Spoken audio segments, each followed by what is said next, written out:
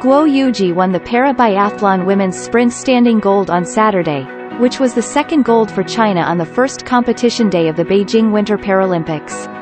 Guo, 17, finished the 6 km course in 19 minutes and 43.3 seconds, followed by Liudmyla Liashenko from Ukraine with a gap of 8.4 seconds.